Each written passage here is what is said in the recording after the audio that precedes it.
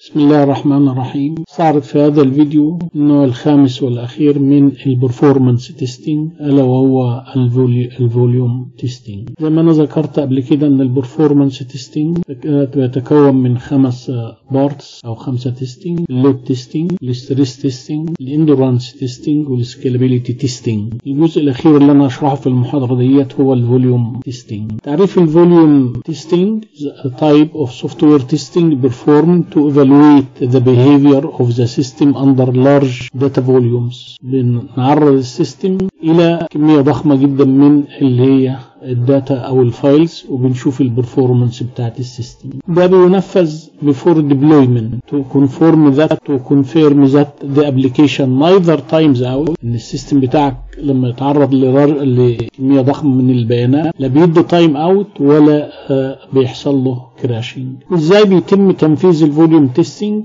إن إحنا بن add data gradually until the database reaches its highest threshold. في خلال المراحل دي كلها بنعمل ال testing بتاع ال volume لغاية ما نصل إلى أقصى حاجة فيه وهنا بنبتدي نعمل analysis يبقى ديت ال large database بتاعتنا. في مثال اهوت لل volume testing اللي أنت لو عايز ت add عدد ضخم جدا من ال product إلى ال e-commerce site فقد يحدث في هذه الحالة crashing لل system فهنا adding a large number of new types of mobiles for example في category عندنا هنا في ال e-commerce site اسمها موبايل. فأنت بتضيف أعداد جديدة ظهرت أعداد جديدة من ال mobiles for example أو كده. مقارنة بسيطة بين ال volume testing وال load testing ال volume testing زي ما أنا قلت إن إحنا بن check ال performance بتاعت ال system under a large amount of data is added to the database. لكن ال load هنا في data في ال volume. ال load testing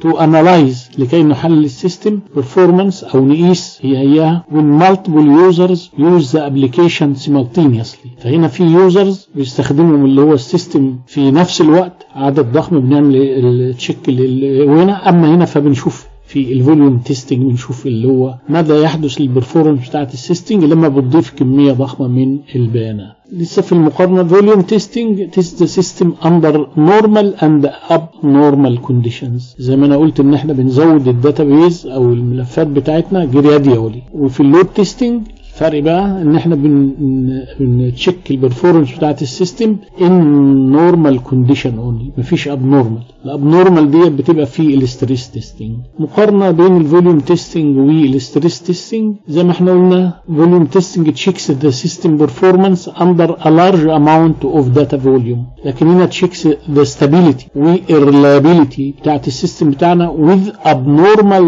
abnormal number of users using the system simultaneously يعني أقصى عدد abnormal مش المسموح به وفي نفس الوقت عشان نقيس إيه اللي هو ال stability وال reliability بتاعت ال system بتاعنا. في ال volume testing إحنا بنقيس ال response time يعني أنت بتعمل load ل database ضخمه أو file ضخم وبنقيس ال response time أما في ال stress testing فإحنا بنختبر ال robustness المتانة أو القوة بتاعت اللي هي ال system بتاعنا أو ال application يعني system أو application ما هو الغرض أو الأغراض الخاصة بال volume ليه يتم إجراء ال volume testing اللي هو اختبار الحجم أو كده. وفي بعض الحالات بيسموه ال flood testing predicting how much data the system can process وزود فيه دي أول حاجة وديت نقطة مهمة جدا يعني. detecting problems that accompany the increase of the data load. كل ما بتزود ال data load فبيحصل عندنا إن ال response time بتاعنا بيقل أو قد يحدث crash لل system أو تعرض ال system لبعض أنواع اللي هي ال security تهديدات ال security. بنتأكد that there is no data loss due to the increase in the size of the system database. كل ما بتزود مجموعة جديدة من ال database tables أو أي بيانات أو files وكده فبتتأكد من إن لم يحدث أثناء الإضافة ديت إن في حصل فقد في البيانات. Ensuring that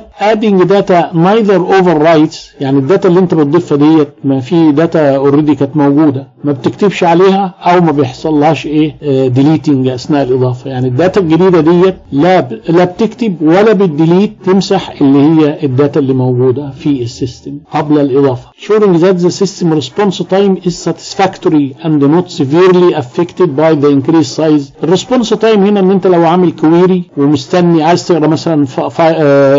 من table معين أو بيانات معينة فبتنتظر ال response time ان يجي لك. طب دلوقتي ال database بقت ضخمة جدا يعني. هل هو نفس ال response time ولا اللي هو كبر ال response time فبالتالي ال user not satisfied مع ال response time reducing the maintenance cost by early identifying reasons for the system downtimes or crashes due to the database size. انت وانت بتختبر اللي هو بنجري الاختبار بتاع ال volume ده قبل before deployment زي ما أنا قلت وبتزود ال database وبتشوف ال system response time وال downtime بتاعه وال crashes أو كده. فلو انت اكتشفت اللي هو ان في مشاكل في ال application أو ال system بتاعك طبيعة الحال انك انت بتحل بتجد لها solution وبالتالي بعد ال system ما بيحصل له deployment فستقل أعمال ال maintenance أو ال crashes اللي اللي هي due to the increase size of the database أدي معنى reducing the maintenance cost في عندنا هنا برضو automation tools مش أنت ممكن تعمل اللي هو ال volume testing ده ب manual يعني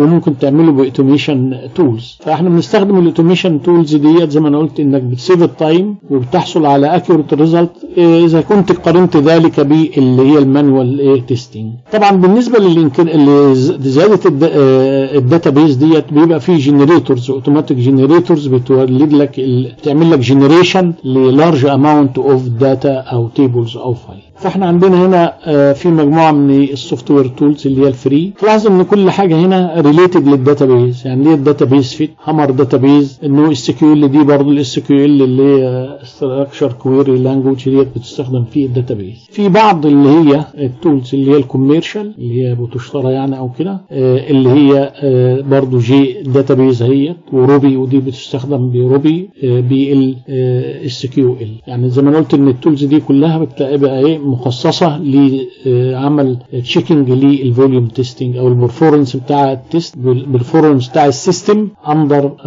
a huge amount of database. Thank you.